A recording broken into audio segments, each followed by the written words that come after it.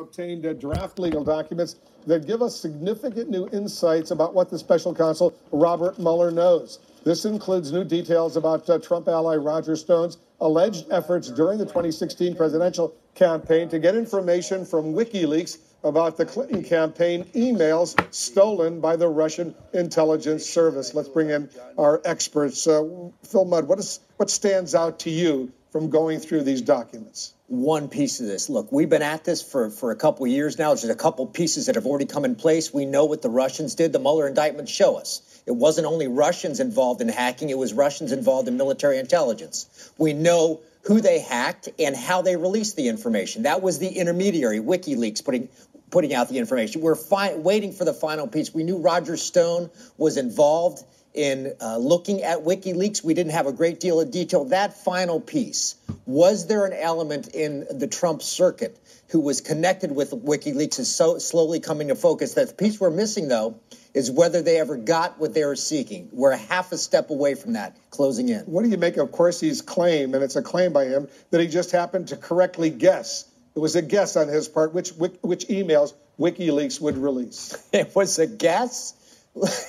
okay, the serious answer to this is if he's telling that to the special counsel, he better be pretty darn sure the special counsel doesn't have information that showed, for example, emails or telephonic communication with WikiLeaks numbers or email addresses that shows that Corsi already had uh, linkages to WikiLeaks people. I don't buy it for a minute. If you buy that, put a tooth under your pillow tonight because you're going to get a dollar in the morning. It does make sense. In these documents, uh, you know, Laura, the prosecutors outline what they say are three specific lies they allege Corsi told federal investigators, including the FBI and the special counsel's office. Why would Corsi reject a plea agreement knowing the kind of evidence that the special counsel has. It could be he's simply not listening to his lawyer. Clients sometimes reject really good advice, even when it's in their own best interest. I mean, there's no question the emails are a really bad look for Corsi and Stone. They're explicit, they kind of all laid out there. But as Phil said, we haven't seen the sort of the back end of those emails. We haven't seen the communications between Corsi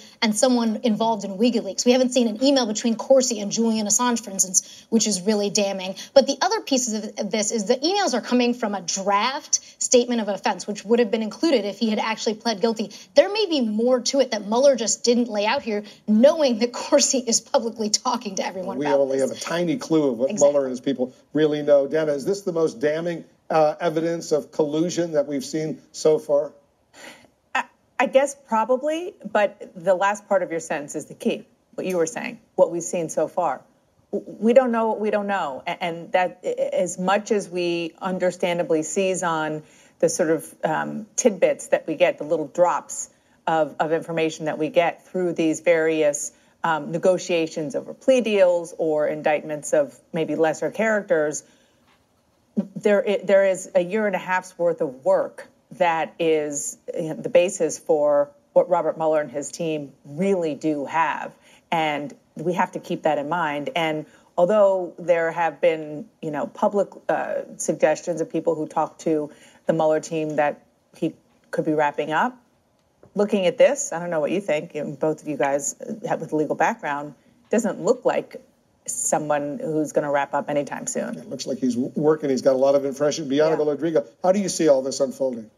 Well, one person throughout all of this continues to surprise us, and that's Robert Mueller, in the sense that uh, he is not one but a thousand steps ahead of us, and nothing thus far has leaked. So every time we think we see where something is going in the direction that it's going, uh, another surprise pops up. Another question that comes to mind is going back to the Manafort and Trump connection. Remember, uh, initially when he was brought into the campaign, it was almost coincidental, uh, perfect timing, stars sort of aligned. Now that you see uh, the track record, not only with his contacts in Eastern Europe, but also his contacts with Julian Assange, uh, going back as far as a few years ago before the campaign, one has to wonder uh, about the connection between uh, Trump associates and Manafort himself and whether he just happened to stumble into the campaign or whether there were closer ties there.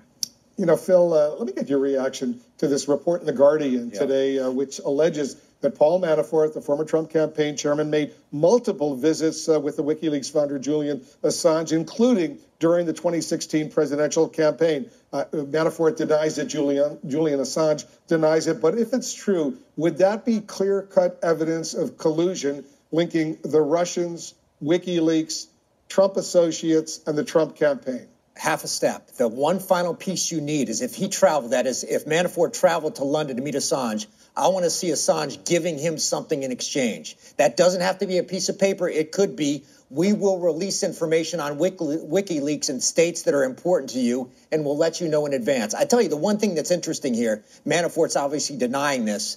If they've got that, is the, the Mueller people have things like his travel records, airplane records, visa records, email. If he's lying again for about the 18th time, a, he's in trouble, and B, if this is confirmed, we're a half a step away from saying the campaign colluded. Not and, there that, yet. and that's the key. I mean, finding out if somebody who's an American citizen traveled to a place like London, it's not that hard. I mean, you need right. a passport, and you can get that information if you're any federal official, never mind Robert Mueller, right? I mean, finding yeah, I mean, out well, the basic information. For example, go to the British and say, what are the immigration records right. for people coming in? Right. So, right. so that the leads problem. you to. Go ahead, Bianca. Yeah. Oh, go ahead. I, I was just say that leads you to one of two conclusions. One, that Mueller, uh, that, that Manafort really is this naive, uh, that he's gotten away with lying his whole life, so why not now to Bob Mueller? Or that maybe it would be worth uh, going to prison for, uh, as opposed to the consequences of divulging everything he knows uh, in exchange for possibly, you know, upsetting some untoward people. Let's just leave it at that in, in Eastern Europe. You know, yesterday, uh, Manafort, uh, according to Robert Mueller, is is a liar. Uh, they, in the plea agreement uh, that they released yesterday, the document they released before the court, the uh, federal prosecutor said Manafort committed federal crimes by lying to the Federal Bureau of Investigation and the Special Counsel's Office on a variety of subject matters which constitute breaches of the agreement. What's your analysis of why Manafort, at this stage, after pleading guilty promising to cooperate in order to get a reduced sentence would go ahead and lie. Well, that's what's so confounding is why, given the level of exposure and the serious, I mean, the criminal case that they have built around him, why would he risk that? And I think that's what's led everyone to the speculation that he could only be possibly holding out for a pardon. Otherwise, you wouldn't risk this. But he has a credibility problem. He has a history of lying. Uh, he has pled guilty to lying to the uh, investigators here. And we all remember even when he was in jail and he was facing a criminal trial, he was using his email in, in, in, violation of the rules, and he was doing things that suggest that he was being less than transparent with the special counsel's office, which has really got him in a lot of hot water. You here. spoke to Rudy Giuliani, uh, Dana, the president's personal lawyer. What did he say? Well, what's interesting is that he is very open about the fact that he's in communication with Paul Manafort's attorneys. And um, it, and there's nothing wrong with attorneys that. can do that. Absolutely, and and it is it's done you know a lot when you have multiple uh, people who are um, who are represented by different lawyers who have common interests. And at this point, um, the Giuliani, the Giuliani, the, the Trump legal team and the Manafort legal team believe that they still have common interest, which I think is noteworthy. Um, but he also explained so Giuliani said that they have known for some time that Paul Manafort um, was sort of moving away from this plea deal because he uh, felt that he was being pressured, according to Manafort, to not tell the truth. Um, but also explained why the president has been, you know, even more aggressive on Twitter going after Mueller is because of what he's seeing with Manafort and with and what he's seeing with Corsi um, which he argues, he, the president, argues in private, just as he's done publicly on Twitter, that this is Exhibit A of the Mueller investigation going way too far, going after people as a way to get at and get to and take down the president. You, you know, Bianca, some have suggested that Manafort may be motivated by a potential presidential pardon. What do you think?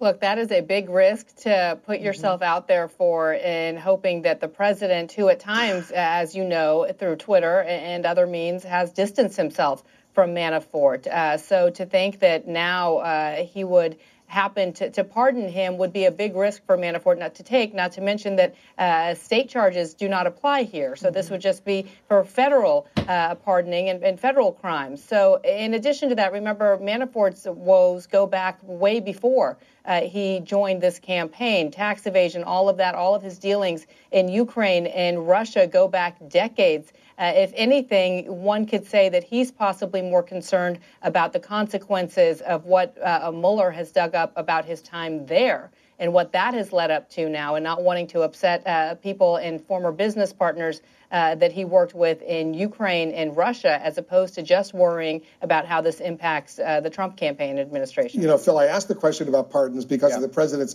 three tweets earlier today in which he really goes. I mean, he's been blasting Mueller yeah. and the Mueller probe for a long time, but some of the things he said about this quote phony witch hunt, uh, Mueller and his gang of angry Dems.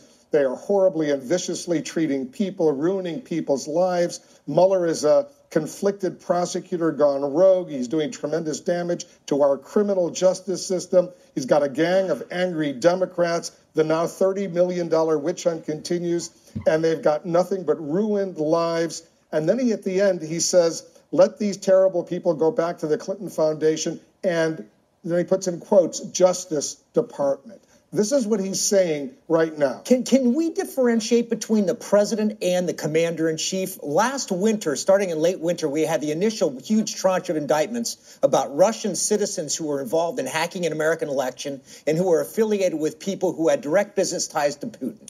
Fine. We move fast forward. We have another huge tranche of indictments from the Mueller team. These people who are supposed to be angry Democrats who directly connect Russian military intelligence, presumably authorized by Putin, to get involved in hacking an American election. Can the president spend one second telling us why an investigation funded by America that that shows us in black and white that Russian military intelligence is interfering in elections is a hoax. Why is that a hoax? Why can't he be commander in chief? I don't get it. Dana, if the president of the United States believes that what Mueller is doing is doing tremendous damage to our criminal justice mm-hmm. system, why doesn't he do the right thing and simply fire Mueller and end this injustice to the criminal justice system? Why is he sitting back and just watching it unfold if he believes mm-hmm. what he's actually saying? I mean, look, that's a good question. The answer is because he's being told by every single person around him, do not do that for a lot of reasons. Um, you know, the, the most uh, pressing is the political ramifications for doing that, particularly with the Democrats poised to take over the House. But what you say is a is a logical outgrowth of what you just saw and what you just read in those Twitter comments this morning. There's no question. Um, and he is expressing his frustration. And the question is, how is that going to manifest itself? Particularly since, remember, he now has, has a handpicked um, acting attorney general who has been very publicly, um, you know, critical of the Mueller probe. And so that is something that is, is a big question mark. And it is also why even though there's a lot of Republican criticism of this idea, there is even more talk this week of legislation in the U.S. Senate and then ultimately in the House to protect Robert Mueller. Yeah. All right, guys. Everybody stick around. Uh, there's a lot unfolding. We're just beginning to assess all of this. Much more. Uh, we're going to have uh, on what we're learning about the special counsel's investigation from drafts of court papers prepared by Robert Mueller's team and now obtained by CNN. We're also following breaking news uh, in Mississippi, where there are just over two hours left to vote in what's become a very controversial runoff for a U.S. Senate seat. Okay, uh, YouTube viewers, remember the main reason that I re- record these news videos for you is because if you're reading Daniel, it speaks of a one world one world go government as well as in Re Revelation.